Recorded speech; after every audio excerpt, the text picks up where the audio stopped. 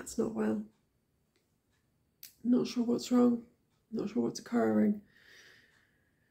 He's eating some food, but he's just sort of lying around. He had a vaccine the other day. Um, maybe putting him off things a bit. Anyway, listen, we'll go and I'll, update you. So this is the current status. He's eaten his tea. He's back in the fullness of his health and he's delighted with himself. He never been better.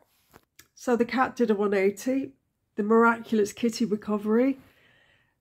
So no thanks in part to being hand fed by me, Egypt, worrying about him like he was my own child. But it's because they're so helpless and they can't tell you and you're sort of sitting there guessing.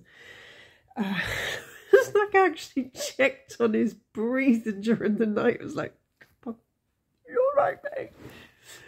Please be okay.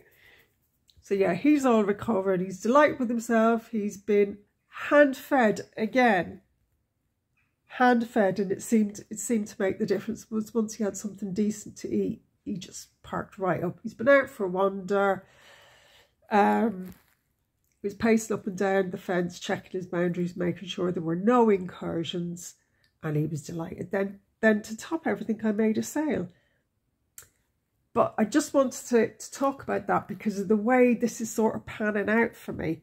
Now, it turned into a bit of an admin kerfuffle because I actually had it, it showing, exhibiting.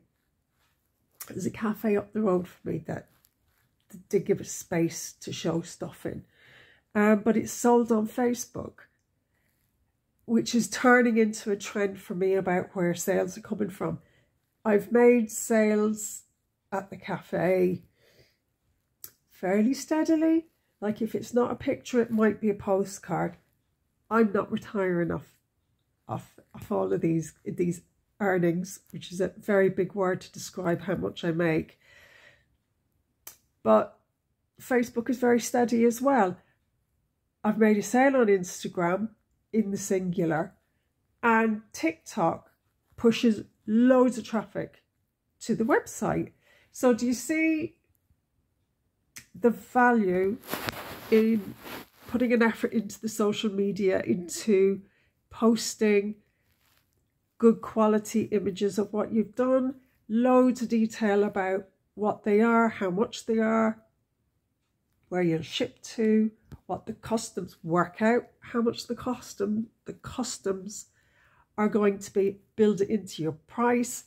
I have been burned. I was savaged by sending something to Ireland because I hadn't, this was early doors after Brexit. I hadn't checked what the deal was with Brexit. It got caught at the customs. They charged me a stupid amount of money for what it was. And I got burned. But it taught me. So sit down and review all these things for yourself. Update your website. And two years ago, whatever was, I would not, I would not have had any faith whatsoever that social media would be generating any income for me whatsoever. But it does. So go away and have a think. If you're not fully tooled up with Facebook, Instagram, TikTok, and that they're all linked up together, it is fairly easy. Um, it, ju it just takes a bit of time. You know, obviously photograph and everything can sort of do an inventory.